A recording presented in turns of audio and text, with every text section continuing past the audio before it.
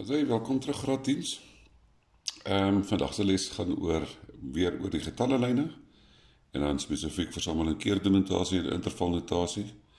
OK, en dan gaan ek dit doen aan die hand van 'n paar voorbeelde. Die eerste voorbeeld sê skryf die volgende in versameling keerdotasie en dui dit op 'n getallelyn aan. Nou, eerste gedeelte sê hulle ehm um, heelgetalle wat groter is as -5. Nou gaan ek versameling keerdenotasie en ek gaan dit met rooi beantwoord. Versameling keerdenotasie, onthou begin ons altyd met 'n krulhakie. So ek begin met 'n krulhakie en dan gaan hom eindig met 'n krulhakie. As dit nie vir jou getal sê nie, dan sê ons die getal waarmee ons werk is getal x dubbelpunt. So ons begin hom met 'n krulhakie x dubbelpunt. Nou sê hulle, die getal is heelgetalle groter as -5. So dan sê ek x moet groter wees as minus 5. So dit wat hulle vir my gee in woorde, skryf ek dan basies as 'n ongelykheid neer en dan sê ek kom op punt. En dan sê ons maar x moet 'n element wees van wat? Heelgetalle. Wat is die simbool vir heelgetalle? Z. En dan eindig ons weer met 'n krulhakie. Dit is versameling keerdenotasie. Kyk nou as ek dit op 'n getallelyn moes voorstel, ek gaan sommer my swart pen gebruik daarvoor. So, nou gaan ek gaan dit op 'n getallelyn voorstel. Ek gaan 'n getallelyn teken.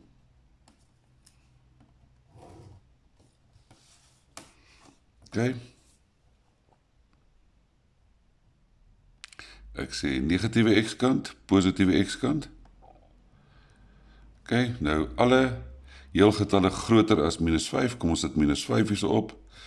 -4 -3 OK, -5 alle heelgetalle groter as -5. Dan nou kan ek nie by -5 'n oop kolletjie maak nie, want -5 is nie 'n heel getal nie. En die getal direk na -5 is nie 'n heel getal nie. Die eerste heel getal wat groter is as -5 is -4. So wat ek doen is ek maak by -4 'n kolletjie, maak by -3 'n kolletjie, kom ons maak nog een -2 kolletjie en hy gaan aan en aan en aan op en oor. Daar's hy op op 'n getallelyn voorgestel. OK, volgende ene. Natuurlike getalle kleiner en gelyk aan 7. OK, eerstens begin ons met versameling keerdenotasie. Dit is die eerste gedeelte van die vraag gewees. Versameling keerdenotasie, hoe begin ons nou weer? Ons begin met 'n krulhakie. Krulhakie, hulle het nie vir gesê wat die getal is nie, so kom ons noem hom x. OK. Natuurlike getalle kleiner en gelyk aan 7. So wat ons sê is x moet kleiner wees en gelyk aan 7 kom op punt x moet 'n element wees van watter getalle? Natuurlike getalle en wat is die simbool vir natuurlike getalle? Dit is 'n n. OK nou moet ek dit ook OK ons eindig dit met 'n krulhakie nou moet ek ook ook op 'n getallelyn voorstel. Kom ons doen dit weer met die swart pen OK getallelyn ek trek vir my getallelyn OK nou wat wil ek daar sê ek soek 'n positiewe x op my getallelyn Ek soek 'n negatiewe x op 'n getallelyn. X met aksent. Ek soek 7 daar. Ek dan gaan ek afgaan 6 5 hier hoef nie presies te wees nie, maar ons gaan naaste by 4 3 2 1 0 Ok, nou sê hy, hy moet kleiner as en gelyk wees aan natuurlike getal wees. So 7 is 'n natuurlike getal, tussen ons geen natuurlike getal nie. 6 is 'n natuurlike getal. 5 is 'n natuurlike getal.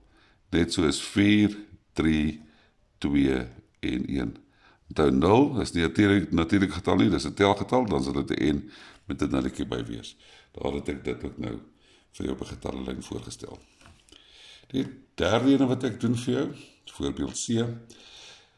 Ek raas dan L E reële R E met 'n deelteken reële getalle tussen -3 en 5 met -3 ingesluit en 5 uitgesluit. OK. Versameling keerdenotasie, hoe begin ons dit nou weer? Met 'n krulhakie. Krulhakie, dit is vir x dubbelpunt. Genau sê ek, oordat ek twee grense het, gaan ek x in die middel skryf. x is groter as dit moet tussen minus 3 en 5 wees.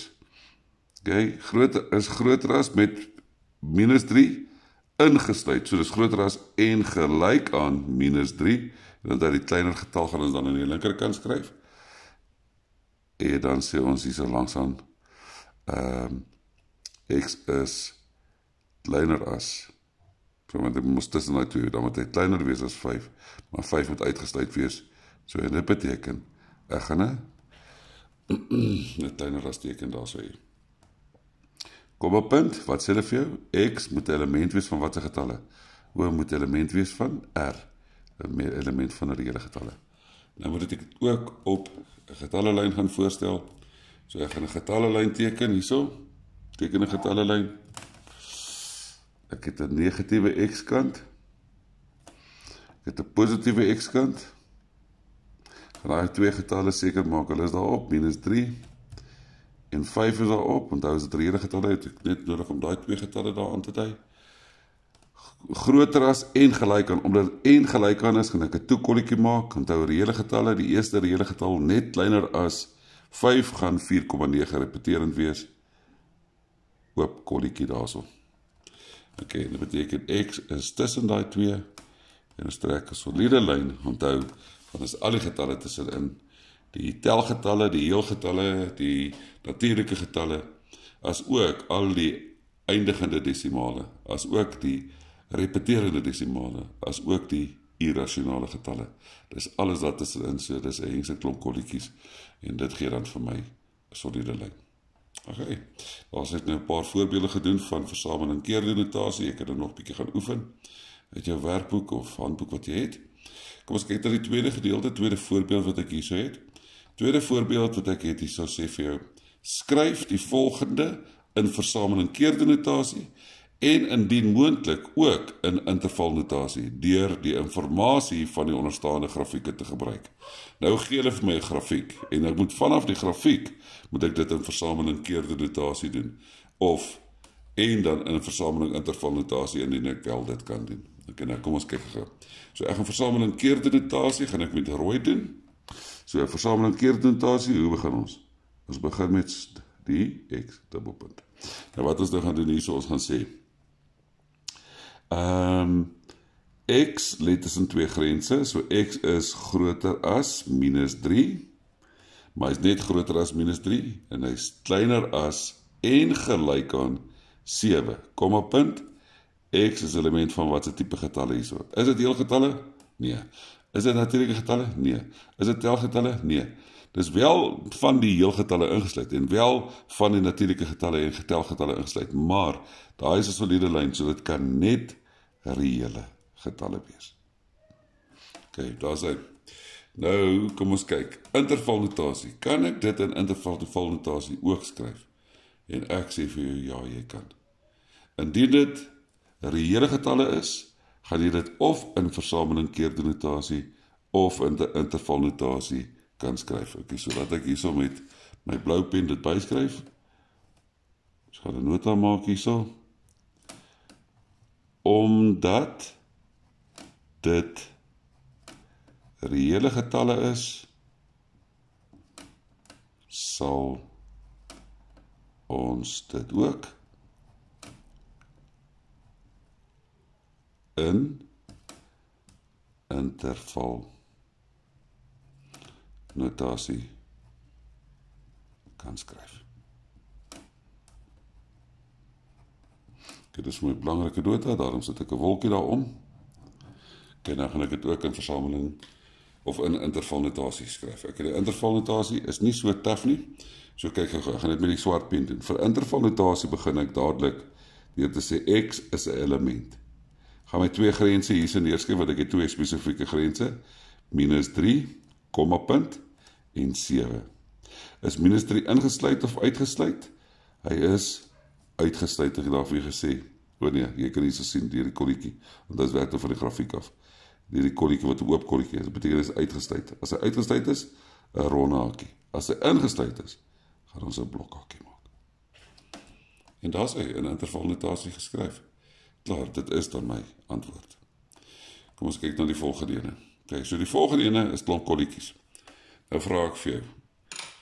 Kan ons dit in intervalnotasie skryf? Ja, ons kan. So dan gaan ons sê krillakie x dubbelpunt.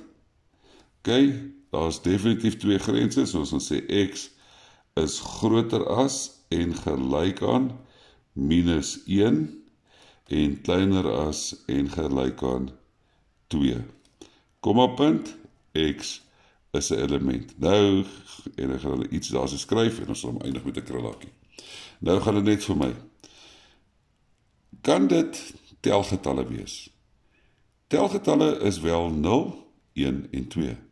Heelgetalle is 1 en 2, maar dit sluit ook minus 1 in, so dit kan nie meer telgetalle wees nie. So dit kan wel heelgetalle wees. So ek kan heelgetalle skryf, want heelgetalle kan ook negatiewe getalle insluit. Kan ek reële getalle skryf? Alhoewel al daardie reële getalle is, is dit nie al die reële getalle tussen minus 1 en 2 nie. En daarom kan ek nie x element van reële getalle byskryf nie, want dan moes daar 'n soliede lyn gewees het. OK. Jy kon ook seker geskryf het x is net groter as minus 2 x is net kleiner as 3 en x is 'n element van heelgetalle dan sou ons in elk geval ook gekry het minus 1 0 1 en 2. So daar's meer as een moontlikheid vir intervalnotasie. OK, nou kom ons kyk. x is 'n element van wat? Heelgetalle. Kan ons nou intervalnotasie gebruik? Onthou as hierdie data, omdat dit reële getalle is, sal ons ook intervalnotasie kan skryf. Hierdie is nie reële getalle nie. So intervalnotasie is nie van toepassing nie. So ek gaan maar dit ook maar met 'n blou pen byskryf. Nie er dis geen interval notasie. So geen intervalnotasie is moontlik omdat daar omdat dit nie reële getalle is nie. Nou die volgende ene kyk, nou kan ons dadelik sien soliede lyne, so ons weet dis reële getalle. en ek gaan begin, jammer. Ek gaan begin met my interval ag versameling keerdenotasie begin met daai x. Okay, nou wat belangrik is wat jy hierso moet oplet. Daarso is nie tussen die twee nie. So x is nie tussen x is daai kant en x is daai kant. Okay, so wat ons dan nou sê, ons gaan twee aparte x hê. Ons gaan sê x is kleiner as en gelyk aan 3. Of x is groter as 9. Komma punt. Nou of beteken dieselfde as versameling, so daai saam met daai, okay. Of so dis daai kant of daai kant x is groter as 9. Komma punt x, jy weet van watter tipe getalle hierso? Soliede lyn. Is dan praat ons van reële getalle. En ons eindig met 'n krulletjie. Nou weet ons dis reële getalle. Wat weet ons as dit reële getalle is? As dit reële getalle is, sal ek dit ook kan skryf as intervalnotasie. Nou gaan ons kyk. Intervalnotasie x 'n element. Okay, nou sê ons. Nou hy gaan kleiner as minus 3. So waar is die reële getal kleiner as minus 3? Die verste reële getal kleiner as minus 3 is minus oneindig en dit is basies soos 'n 8 wat onderste bo lê. So minus oneindig. Van minus oneindig kom 'n punt tot by 3 blokhakie. Hoekom 'n blokhakie? Omdat 3 ingesluit is.